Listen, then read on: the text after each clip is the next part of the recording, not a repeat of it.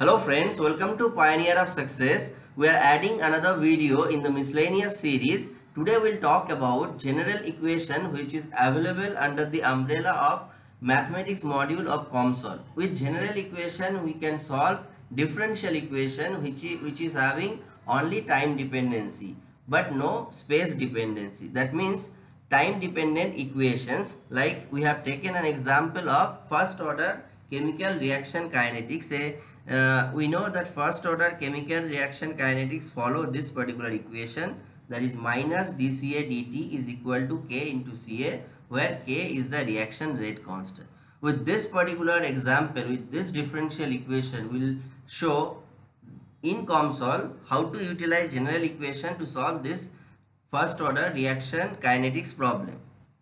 So before we proceed with this first order reaction kinetics we have analytically solved this particular equation. So this is the typical form of the first order rate uh, decay and uh, taking this k into Ca in one side we are getting this particular form that is dCA dt plus k into Ca is equal to 0. Now we have actually tried to divide the variables that means we just multiply dt with kca so minus dca becomes k into ca into dt. Then separation of variables that means ca is coming with the dca term uh, that gives minus dca by ca and in the right hand side k into dt remains. Then we take integration of that in both the sides. We get dca by ca integration would be ln ca and dt has a integration of t. So uh, overall thing is becoming minus ln ca is equal to kt plus c. Here c is the constant of integration. Now we need a boundary condition to get the value of c. We can plug in the value of c there and we can get the solution of this particular differential equation. So the boundary condition is at t equal to 0 we have certain initial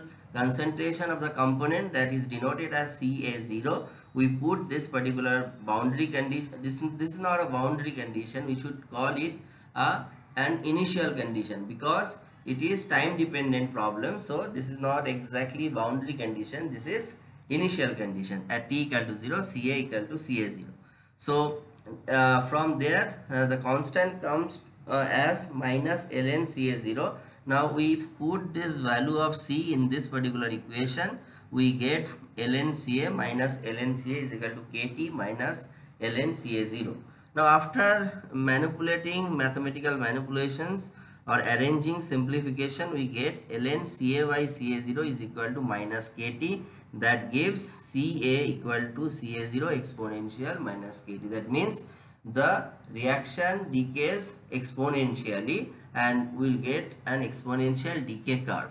So this particular equation if we want to solve it by COMSOL, I have already solved it but I will demonstrate it again with you. That's why we go to new window then click on model wizard and it's a zero dimensional problem.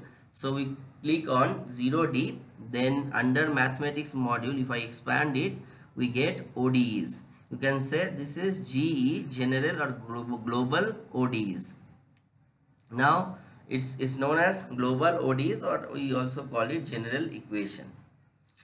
Now we click on study. It's a time dependent one so we choose time dependent study.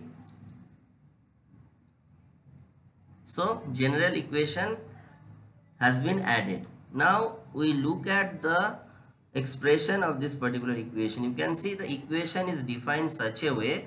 Function of u first derivative of u second derivative of u and t is equal to 0 now we want to correlate this equation with the first order reaction decay equation.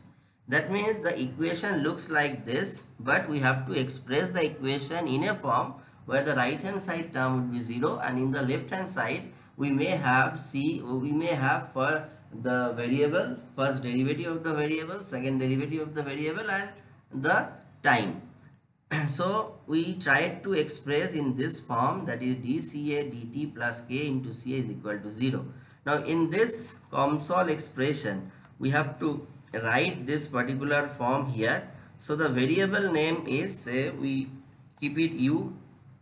Now let's say we need to define the parameters. The k value is required. Say the k value is say 20 cent uh, say 1 by second. The rate constant first order rate constant unit is 1 by second. So we put certain arbitrary value for the k.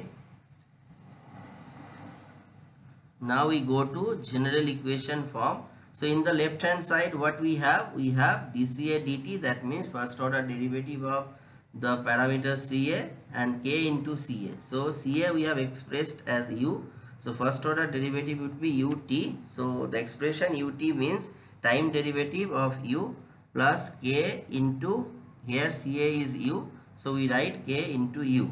So this way we define it. Now you can see there is some uh, unit mismatch because we have not defined the unit for this u. So here we can change the unit. Say we have a unit of mass by volume. So say the unit would be kg per meter cube. This is the unit of u. And this is the source unit means each term. Say dca dt it has a unit of dca dt means kg.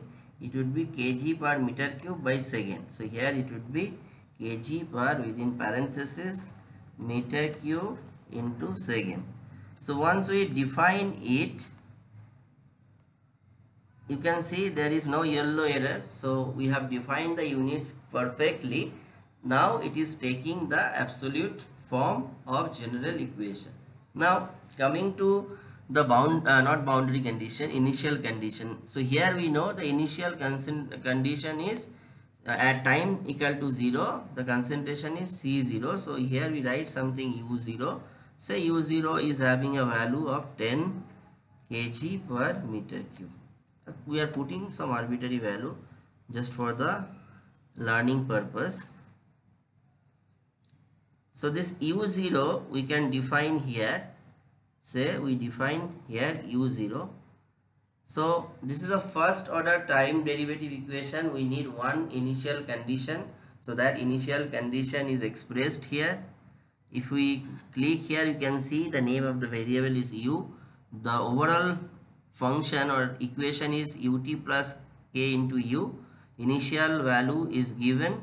So we have defined the equations which is this particular equation. And we have also defined this particular initial condition at this particular point. Now it would have it could have been a second order differential equation if uh, that is the case then we also need to define the second order time derivative and in that case another condition time dependent condition is to be defined and that is why all those boxes are given so this particular term is already done. Let us define the time scale in the order of reaction time.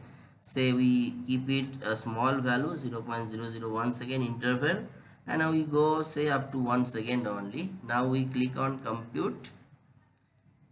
We can see this is the exponential decay curve for this particular CA. So we can actually correlate it with this analytical expression so Ca starts with the concentration Ca0. If you keep T equal to 0, this term become 1.